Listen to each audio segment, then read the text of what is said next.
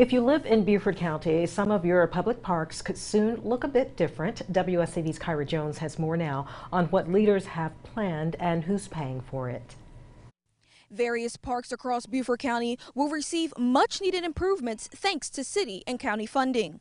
Money from two property sales, as well as funds from the Parks and Recreation Capital Improvement, will be used to upgrade a few of Beaufort County's most popular parks. Southside Park is just one of the many on the list. Officials say it will receive two new pickleball courts, a full length basketball court, and improvements to public restrooms. Beaufort County spokesperson Elizabeth Wood says these minor changes will hopefully bring more people outdoors to enjoy the activities the county has to offer. So the county realized after adding two pickleball courts previously that the response was great and people love pickleball and they want to be able to enjoy the sport. So these two new additional pickleball courts that they're adding will hopefully fulfill that request of some of the residents as well as the full-length basketball court. County leaders say the work could begin sometime in the coming months. Reporting in Beaufort, Kyra Jones, WSAV News 3 on your side.